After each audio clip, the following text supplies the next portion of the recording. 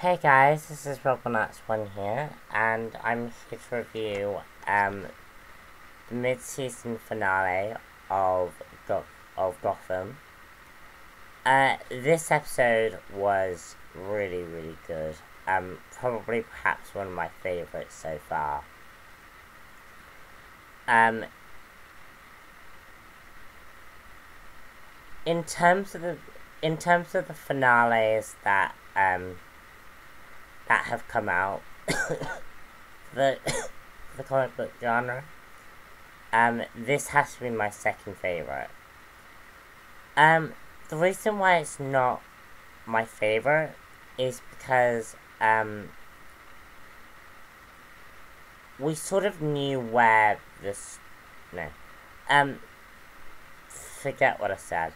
Um, so, in this episode, what Wayne Manor is attacked, um, forcing Selina and Bruce to go on the run. And I love the acting between these two child actors. I love the interaction between Selina and Bruce. Um, these two, these two actors are gonna go far. Um, are, are gonna go far because the acting is just really, really good. In fact, their acting is better than the villain, who um, who is sort of a comic book character, but I've forgotten the name of comic book character. Um, she's the female Viper type assassin from Arkham Origins, if that means anything to anyone. Um, yeah.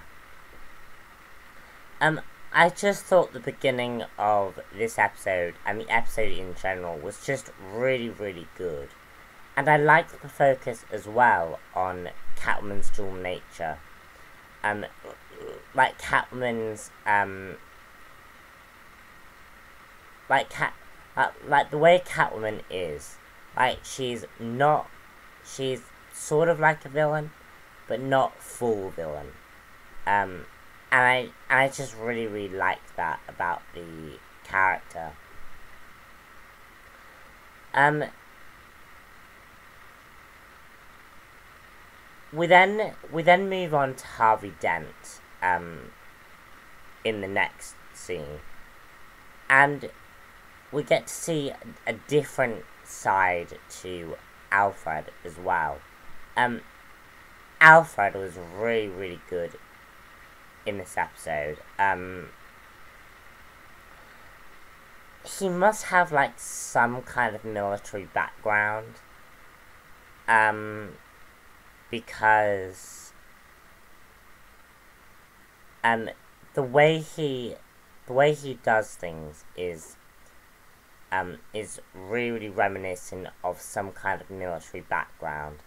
Um, he's also a lot more willing to play the game of Gotham.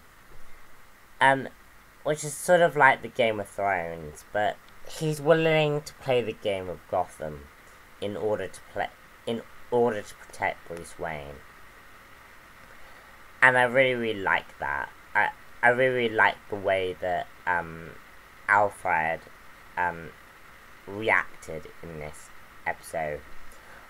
I also love the interaction between Harvey, um, between um, between Harvey and Alfred. Um, the two characters were just really, really good. Um, but back to the interaction between Bruce and Selina. Um, I am a huge fan of Catwoman and Batman being together.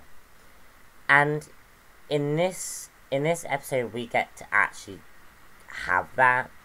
We get to see these two characters interact with one another. Um and I so want um, this show to bring these two characters together in some way. Um, because I love the interaction between Bruce and Selina. Like, I could buy that um, this version of Selina could be Bruce's Lois Lane. Um, no, and that these two characters will end up together in some way. And maybe have the Huntress character. Who knows? But yeah, I just, as I say, I really love the interaction between um, Selina and Bruce Wayne. And we get to see the differing views that these two characters here have, the mutual respect that they have overall. Like Catwoman lives in, uh, like, like Selina lives in a very, very different world to Bruce Wayne. Um, and we can see that Selina treats everything like a game because because she's a, a child, you know. Children, um, the psychologies of these um two children is really interesting, but they are children at heart, um, and it's sort of like um they're playing a game, um, whilst all this chaos is going on around them. Um, and like the way Selina says, "Oh well, do you want to kiss me?" Um, is so reminiscent of of this game that they play. Um, and, again, I just really, really like their their interactions. Um, Falcone is is also becoming um is also starting to realize um, that he has a mole within his within his crime family. Um, he goes after um, Penguin because of a bank attack seen in episode 9. And it leads to Falcone going on this warpath. So it should be very interesting to see what happens um, what happens to um, what hap what ha what is the end result of all this is. Um, we, we, we also have a much, we, we, we also know that um, the Wayne family death is a lot bigger than just um, is than just Lovecraft. Um, Lovecraft identifies several um, inconsistencies within um, within Wayne Towers, and it's going to be really really interesting to find out um, who is behind the this death of the Wayne of the Waynes. Um, there's something bigger going on than um, than what we first realised, and I'm quite interested in that. Um, we also have a great Gotham Sirens moment in this episode um, between um, and Ivy. Um, Ivy's acting isn't really that great, um, but but the way the scene plays out is really really creepy and I like that. I just don't think the actress sort of was that great, to be honest. Um, now, interestingly enough, it's where this um, show leaves off. That's going to be the most interesting part.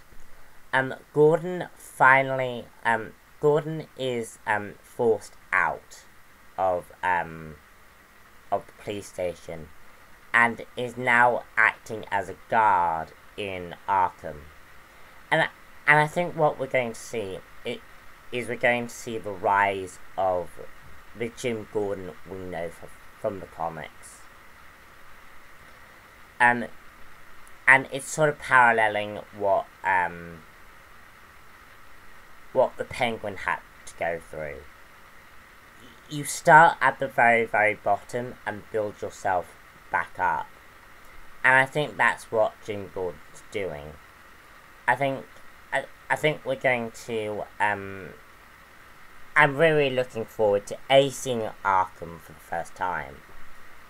And B I'm just I'm really interested in seeing the process that Jim Gordon is going to go through to become Commissioner Gordon we know from the comics. Um, guys, all in all, um, this episode was just really, really intriguing and interesting, and I really liked it. Um, great episode, um, and stay tuned for, um, the next Gotham, um, episode. Um, which, I'm not sure when Gotham next comes out, but I will definitely be doing a review for it. So, I'm Rob Robin One here. I'm gonna try and save my voice. So I'll see you guys all later. Bye.